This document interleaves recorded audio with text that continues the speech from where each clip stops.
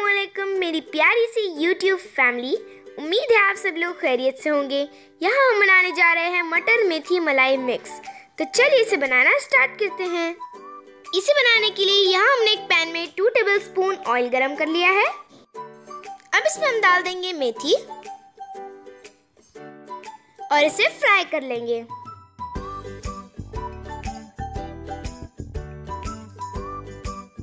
अब ये फ्राई हो चुकी है, अब इसे हम निकाल लेंगे। अब उसी पैन में हम मटर को फ्राई कर लेंगे।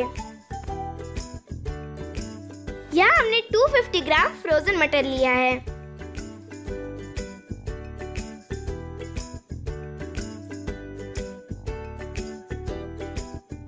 यहाँ हमने सुहाना का मटर मेथी मलाई मिक्स मसाला ले लिया है।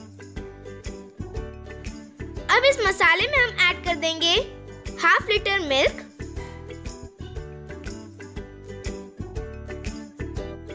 अब इसे हम अच्छे से मिक्स कर लेंगे। अब ये मटर फ्राई हो चुकी है।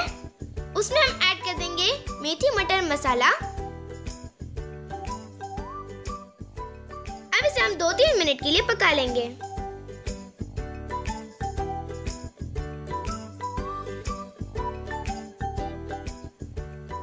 पक चुके हैं उसमें हम ऐड कर देंगे मेथी। अब इसे हम अच्छे से मिक्स कर लेंगे।